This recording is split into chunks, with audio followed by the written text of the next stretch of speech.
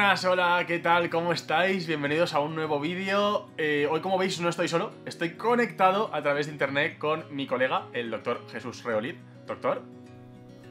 Hola, buenas tardes, doctor. ¿Qué tal? ¿Cómo estamos? Pues muy bien, deseando empezar a hablar contigo de lo que me digas. Vale, ¿y por qué nos hemos reunido? ¿Por qué he liado a Jesús a conectarse y a que nos grabemos y a compartir este vídeo con vosotros? Pues porque Jesús también es paleontólogo, básicamente. Pero los dos hemos estudiado en sitios diferentes, hemos seguido caminos diferentes en nuestra, carrera científica y también eh, nos dedicamos a especialidades diferentes. Entonces he creído que era interesante, he creído que es guay que podamos compartir con vosotros cómo han sido nuestros caminos, nuestras carreras de maneras paralelas, pero no exactamente iguales. De manera que creo que puede ser bastante interesante, ya no solo para la gente que quiera dedicarse a paleontología, sino a gente que quiere dedicarse a cualquier carrera científica, que vea que hay muchas maneras de acabar haciendo cosas parecidas. Tan parecidas como que también Jesús tiene su propio canal de YouTube de geología y paleontología y os lo dejo aquí abajo para que lo veáis todos, ¿vale? Entonces, eh, me parecía que era una buena idea y por eso, pues, mm, aquí estamos reunidos hoy. Para empezar por el principio, por ejemplo, eh, los dos, como he dicho, nos hemos formado al final, a la larga nos hemos formado en cosas parecidas, pero los dos hemos seguido caminos diferentes. Porque, por ejemplo, yo hice ciencias biológicas, hice biología, pero tú hiciste geología.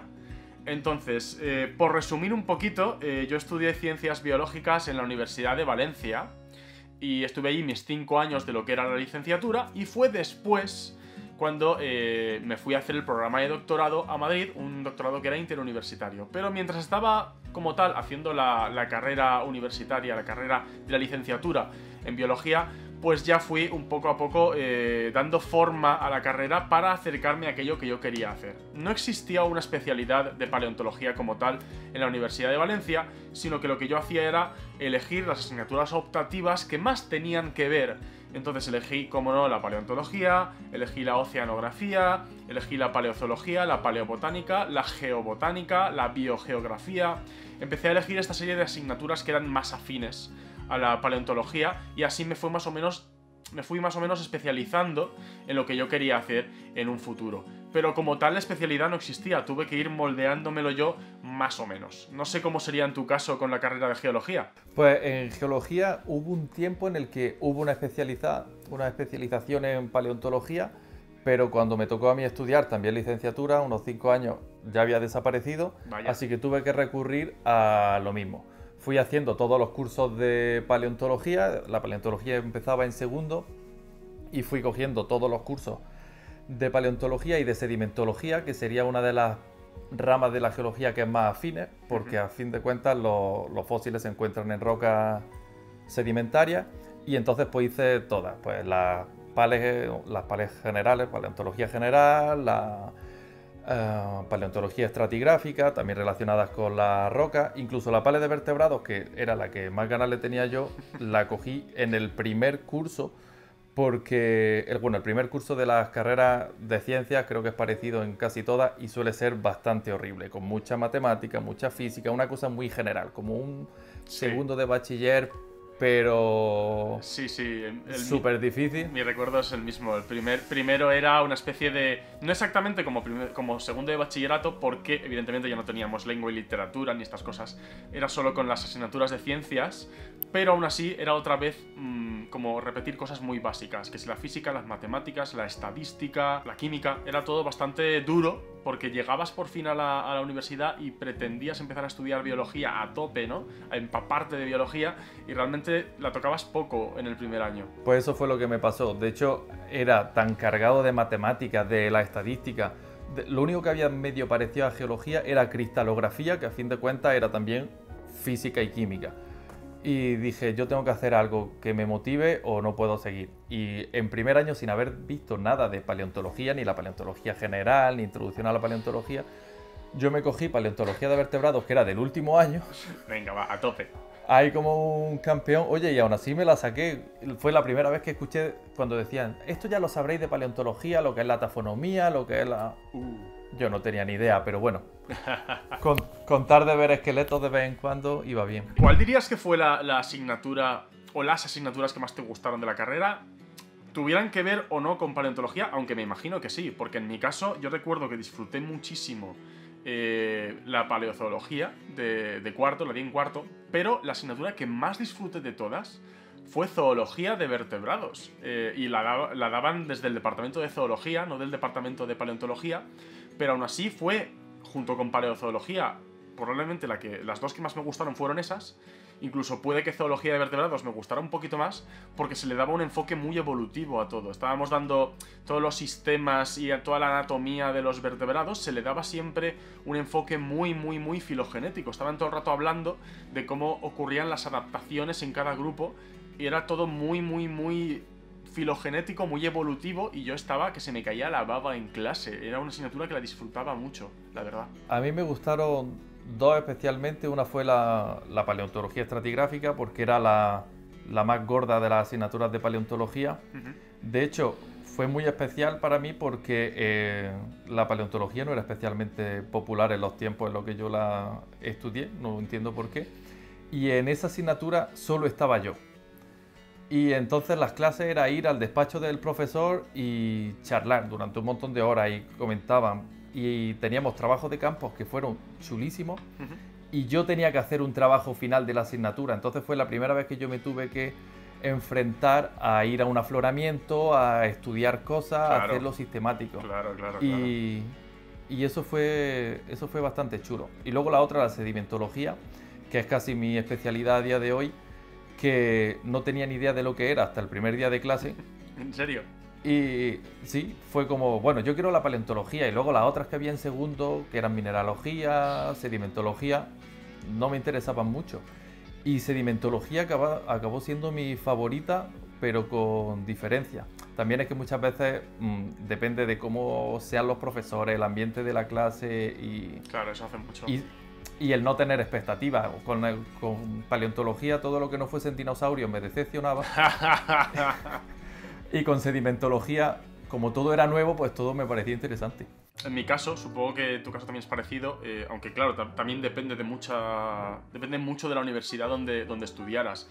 En mi caso, eh, yo sí me enamoré mucho de mis años de universidad, fue porque al margen de estar estudiando biología, tuve la oportunidad de empezar a colaborar más o menos en el departamento de, bueno, es el departamento de geología, ahora es el departamento de geología y botánica, porque han ido fusionando departamentos con, con la crisis y demás.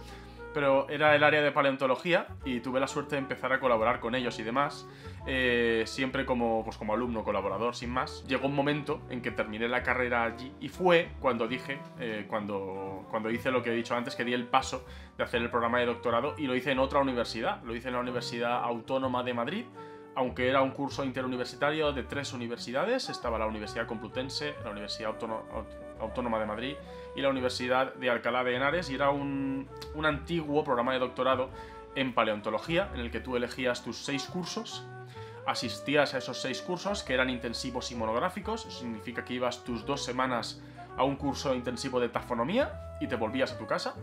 Eh, hice tafonomía, hice eh, paleontología de dinosaurios, hice paleoicnología, hice... ¿qué más hice? Hice cladística, hice análisis de la forma orgánica y, alguna más que se me... Ah, mm, no, y paleoicnología ya la he dicho.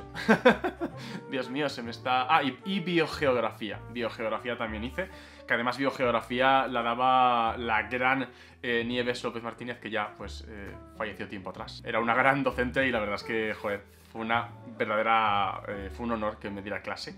Y no sé, yo recuerdo que hice los, los cursos de doctorado como tal allí en, en, Madrid. Hice solo los cursos, o sea, mis cursos como tal se daban en la Complutense y en la, y en la Autónoma de Madrid, no se daban como tal en la de Alcalá de Henares, porque dependiendo del curso que cogías, ibas a un sitio o a otro. Entonces daba la casualidad de que no escogí ningún curso que se diera en Alcalá de Henares y no tuve que ir a Alcalá. Di los cursos entre la Autónoma y, y la Complutense y al año siguiente fue cuando hice el, DEA, lo que sería equivalente ahora a la tesis de máster, que en mi caso eh, fue un reestudio y un estudio funcional del dinosaurio saurópodo, los Illasaurus giganteus de Valencia, al que aún estoy bastante, bastante atado, eh, porque sigo haciendo muchos proyectos con los Illasaurus. Y me acuerdo que los cursos de doctorado los disfruté mucho, porque éramos poca gente, éramos 6, 7 alumnos como mucho. De hecho, creo recordar que en paleoicnología éramos cuatro alumnos, si no recuerdo mal, y el profesor, eh, Juan Carlos Gutiérrez Marco.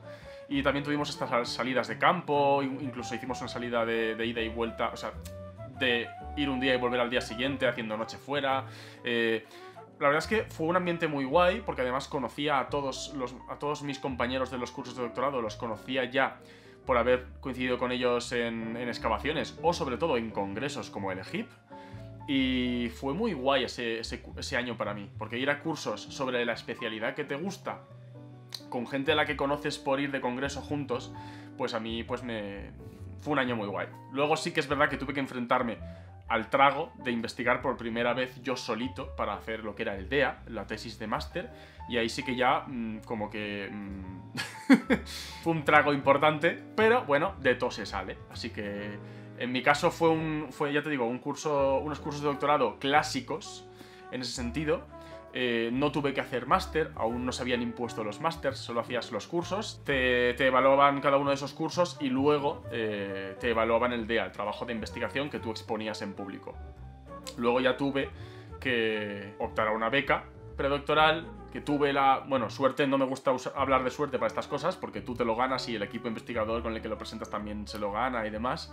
Es un esfuerzo conjunto y hay unos méritos detrás para que te den una beca, pero bueno, por así, por así decirlo, por así expresarlo, tuve la suerte de que tuve una beca predoctoral para poder dedicarme a investigación durante cuatro años. Aún así tuve que eh, alargarlo unos cuantos años más trabajando ya por mi cuenta para poder cerrar lo que era la tesis doctoral y pues me acabé doctorando en, paleontología en la Universidad Autónoma. Estuve durante esos cuatro años de beca en Teruel estudiando Turiasaurus para complementar el estudio que había hecho de los Iasaurus en Valencia y pues eso, acabé un poco especializándome en estos saurópodos más o menos primitivos y en su estudio de su paleobiología. Eso es una cosa que también tenemos eh, muy diferente, porque yo seguía atado a mis raíces de biólogo con un estudio paleobiológico de, de anatomía funcional, de tejidos blandos y de histología, por ejemplo, mientras que en tu caso pues también sigues más o menos atado a, a la parte más, más geológica, ¿no es así? Sí, bueno, yo de hecho eh, durante la carrera intenté pues hacer todo lo que podía de paleontología, de hecho colaboré,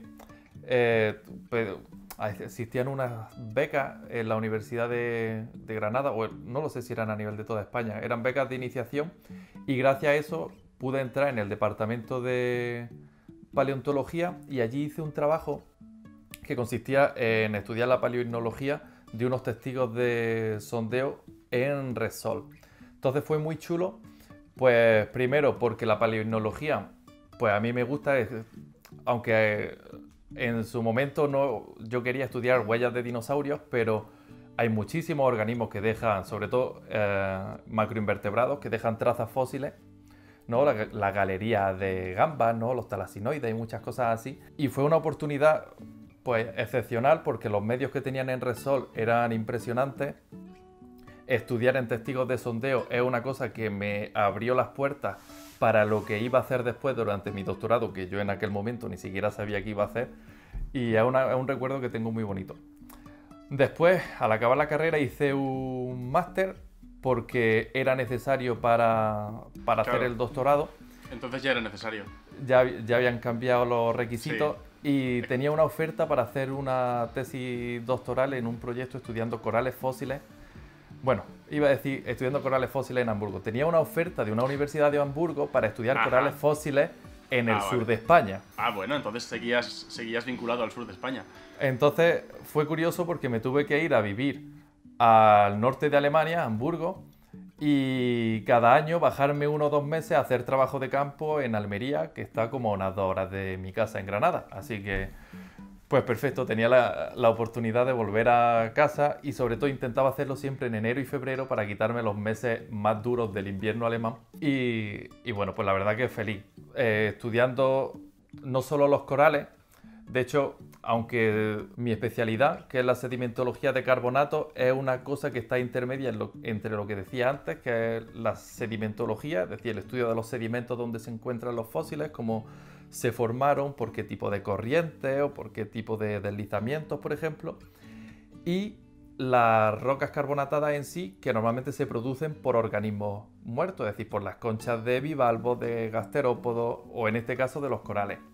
Entonces yo estudiaba taludes arrecifales fósiles y estudiaba cómo el sedimento que se había desprendido de los corales que vivían allí, de distintas asociaciones de algas, se había acumulado, intentando hacer reconstrucciones pues de cómo había sido el paleoambiente, si había habido más energía por corriente, si había habido más nutrientes que habían hecho que las algas en su momento viviesen mejor que los corales o que compitiesen los unos por los otros por los nutrientes. Una historia que se aleja de mi idea original de paleontología, que era siempre pues bichos gigantescos con muchos dientes.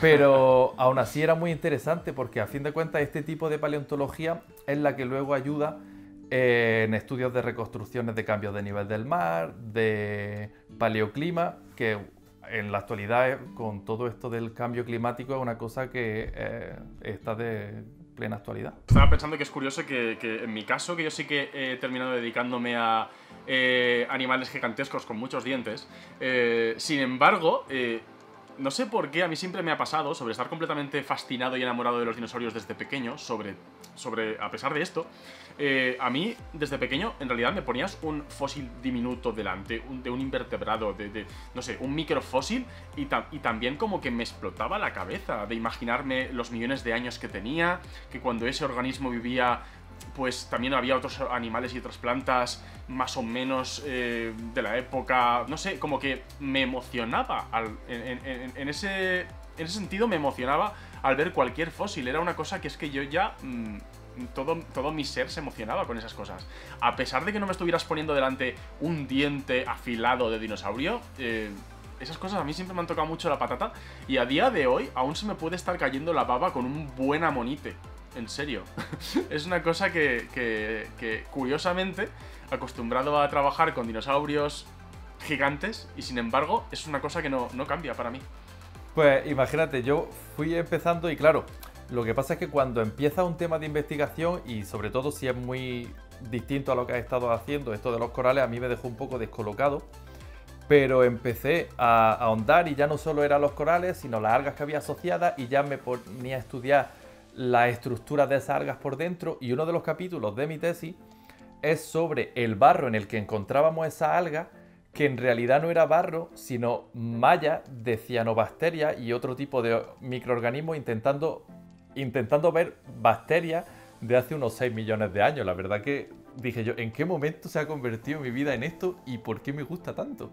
Ya eh, reconozco esa sensación. Eh, igual esto es irme ya muy por las ramas del tema que estábamos hablando, pero reconozco perfectamente esa sensación porque yo recuerdo estar eh, mirando al microscopio las primeras láminas delgadas que había hecho yo mismo del dinosaurio que estaba estudiando en mi tesis, de los huesos que yo mismo había cortado, pulido y demás, y recuerdo estar viéndolas al microscopio, empezar a meterle aumentos y de repente llegar a ver la forma de un osteocito, una, una célula ósea, de ese dinosaurio y, y quedarme con... Eh, se, me puso, la piel de gallina. De... ¡Wow! Es que eso era una célula viva del tejido óseo de este dinosaurio de hace unos 145 millones de años y ahí está, ¿no? Y yo estaba como emocionadísimo de ver una célula diminuta. y era como, lo que tú dices, ¿en qué momento he pasado a, emocionarme con esto? O imagínate los que encontraron los residuos esos de ADN, se les tuvo que ir la cabeza. Imagínate. Imagínate. Por centrarnos en este tema de nuestros inicios, em, quería preguntarte cuál fue tu primer trabajo de campo, bueno, de campo o de laboratorio, pero en cualquier caso, em, un trabajo de investigación que fue uno de los primeros que a ti te emocionara, que, no sé, igual una excavación, una prospección, eh, o igual estudiar algún fósil en el laboratorio, no sé, algún primer contacto que te marcara y que recuerdes para siempre? Pues mira, un primer contacto, y además fue por todo lo alto, fue que cuando acabé cuarto de carrera me fui dos semanas a hacer unos cursos de restauración de huellas de dinosaurios en La Rioja en Enciso. Me los conozco. y, y lo pasé genial. Primero porque aprendí un montón sobre... Porque te dan unas clases por las tardes, entonces durante las clases por la tarde, que para quitarte las horas de calor, estás aprendiendo un montón sobre inología y luego estás en el campo muchas horas viendo esas huellas, aprendiendo a cómo cuidarlas, cómo reconstruirlas. Y una de las cosas que, pasó es que había un rastro de un cocodrilo que, pues se notaba el rastro de cómo había ido nadando por un fondo así con, con ripple, es decir, un fondo poco profundo, y un rastro de un dinosaurio que iba también nadando. Y había una montaña gigantesca de estratos que estaban cubriendo los dos rastros. Recuerdo que el encargado de la excavación pues tenía curiosidad de a lo mejor llegamos a encontrarlo y pasaron en el mismo momento. Y entonces imagínate encontrar una pelea de un cocodrilo y, un dinosaurio nadando, eso hubiese sido impresionante. Pues nos pasamos esas dos semanas quitando pero toneladas de, de escombro con las palancas, quitando bloques gigantescos, limpiando, volviendo a quitar. Al final mm, uno había pasado antes que otro, no sabemos si pasó con un día de diferencia, con una hora, con tres semanas. Pero, pero la verdad que la sensación de ir quitando metro a metro y ver cómo avanza el rastro y lo que va a salir y luego pues todo gente de la misma edad, muchos jóvenes con mucha con el mismo amor por la paleontología, era una sensación excepcional. Me, hace mucha ilusión que hayas mencionado lo de Enciso, porque yo no llegué en su momento a ir a los cursos de, las huellas de Enciso cuando era estudiante, pero el, azar, la vida, el universo, o llámalo por una coincidencia más, ha, ha he acabado siendo uno de los ponentes habituales de este curso de verano. Entonces yo todos los años voy a dar mi charla de turno y a echarles una mano con, la restauración de las huellas un par de días. Y es una experiencia súper chula. Desde aquí a toda la gente que esté, ya no solo haciendo biología o geología o ambientales, cualquier persona que esté eh, en la universidad, y digo en la universidad porque dan créditos de libre elección, no porque haga falta, porque supongo que se podrá apuntar mucha gente aunque no sean eh, estudiantes universitarios, pero básicamente la gente que esté en edad de ser estudiante universitario y que quiera participar en esto, a mí por lo menos me parece una experiencia súper chula y es una pasada que justo fuera allí tu, tu primera experiencia a lo grande, desde luego. Yo estuve este año pasado trabajando precisamente en la reconstrucción del cocodrilo mm, de ese rastro, que se ha hecho una escultura a tamaño real y se ha hecho también realidad aumentada. Así que me, me conozco bien el yacimiento. En mi caso, mi primera experiencia así de, campo tocha importante y que siempre me acordaré toda la vida, no fue con dinosaurios, fue con mamíferos del Mioceno. Fue la primera vez que fui a excavar al yacimiento Mioceno de Venta del Moro en Valencia eh, es del Mesiniense eh, y es un yacimiento, pues eso, con mamíferos. Y además es un yacimiento que tiene mucha fauna de mamíferos. Hay mucha variedad de restos que aparecen, de mamíferos, también de reptiles. De hecho tenemos eh, restos de cocodrilos y de tortugas. Entonces es un yacimiento súper rico y suelen ir allí, o solían ir allí por lo menos entonces, los alumnos de biológicas de la Universidad de Valencia, los que habían tenido profesores eh, o bien en geología para las ciencias biológicas, o bien en paleontología, o en, en paleozoología, o en cualquiera de las asignaturas del, departamento, quienes habían tenido profesores que participaban activamente en este proyecto, pues eh, hacían como eh, selección entre los estudiantes que querían ir y íbamos allí. Y me acordaré toda la vida de la primera vez que llegué allí, me monté mi kit de excavación con mi cubo, mi pala, eh, o sea, mi, palita, mi padila, eh, un pico, un, par de destornilladores de diferente tamaño para usarlos como punzón para excavar en la, en la marga, una escobita para poder barrer el escombro eh, y ponerme allí frente a la roca. Una roca que a mí me tocó, por ejemplo, la capa C, que era una capa súper, súper rica en materia orgánica que parecía... Mm, bueno, era una capa negra, porque está súper rica en materia orgánica, muy rica en carbón, con lo cual era prácticamente un lignito que estabas tú allí excavando. Y me acordaré toda la vida que la primera tarde de empezar a ponerme yo allí y estar aún nervioso por ser mi primera excavación paleontológica y yo, un pipiolo estudiante eh, nerviosísimo, me acuerdo que de repente salió una, falangita, un, huesecito de la mano o el pie de un tragoportax, una gacela primitiva de esta época. Me acuerdo que me emocioné muchísimo eh, allí, por ejemplo, en este yacimiento, lo que más abundan a patadas son los dientes de los bóvidos, los dientes de estas gacelas. Menos abundante, aunque aún bastante abundante, como para que sean un fósil habitual, también están los, los molares de los, de los, caballos, de los Hiparion. Sin embargo, un resto postcraneal, como una falange, no abunda tanto y de repente que el primer día de estar excavando apareciera una falangita, aunque eso sí, era, de, era del bóvido, era de la gacela, no era ningún gran bicho deseado, pero aún así pues me hizo mucha ilusión. Y fue pues la primera vez que tuve que coger el consolidante, aplicarlo, no tocar mucho el hueso para que no se rompiera, que estaba perfectamente porque era una pieza súper súper compacta y no tenía ningún, ningún riesgo, pero aún así pues vino, no sé si fue Juan o Borja o alguien a echarme una mano para ver cómo se tenía que extraer, eh, lo ubicamos en, dentro de lo que era la cuadrícula, con las coordenadas, lo pusimos en una bolsita con su sigla, entonces ya la primera tarde de excavación en ese yacimiento ya me vi expuesto por completo a lo que es la metodología de excavación de la mayoría de excavaciones. Y siempre me acordaré de, esa primera falangita de un tragoportax que, saqué en mi primera tarde en, en, Menta del Moro.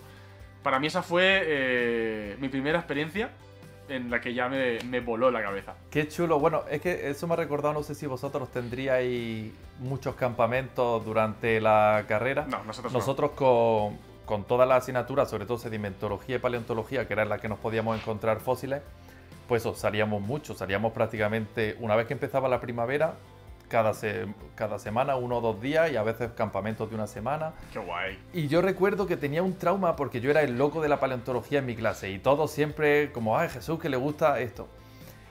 Y sin embargo, no encontraba fósiles jamás. Hay gente que iba andando y, oh, mira qué bonitas, mira aquí un belernite y yo jamás he encontrado, y yo tenía un trauma, digo, ostras, ¿yo por qué quiero dedicarme a una cosa si no soy capaz de ver fósiles? Y, y es una cosa curiosa, conforme vas teniendo horas de campo, se te hacen los ojos. Es decir, ahora veo fósiles que no puedo ir a, a un museo, pero digo un museo normal de pintura o a una iglesia, sin fijarme en los suelos o en las paredes. Sí. E, efectivamente, que, uy, aquí hay unas trazas, aquí hay un no sé qué. Y, y recuerdo que cuando la carrera yo tenía ahí un gran trauma, ¿eh? que era como, por favor, ¿cómo lo hacéis? Pues si quieres lo dejamos aquí como primer vídeo y si a la gente le ha molado, pues que nos ponga en comentarios sus anécdotas de la carrera y, cuáles son las que más les ha gustado de las nuestras. Y, nada, eh, te dejo que presentes tu canal y así pues que quede aquí también enlazado. Bueno, pues gracias por darme la oportunidad. Pues básicamente eh, hablo no tanto de paleontología como de la geología en general porque aunque es una cosa que está en todas partes, al final acaba pareciendo como que es una ciencia menor o un poco infravalorada. Y si nos ponemos a darle una vuelta, hay geología en prácticamente todo, no solo en los fósiles, pero en nuestros teléfonos móviles, en la cocina cuando estamos preparando la comida, en todos lados. Entonces intento darle una vuelta en el canal a pues a dónde podemos encontrar geología en sitios de lo más inesperado. Y bueno, pues eso sería todo. Muchas gracias por invitarme. Estoy deseando contar más batallitas de estas de campo contigo. Sí, señor. Pues nada, si vosotros también estáis deseando que contemos más batallitas, pues atentos, porque en nada tendréis un vídeo nuevo de esta tertulia, ¿vale? Muchas gracias y nada, recordad darle a la campanita, suscribiros y todas esas cosas. Y nos vemos en el próximo vídeo. Hasta luego.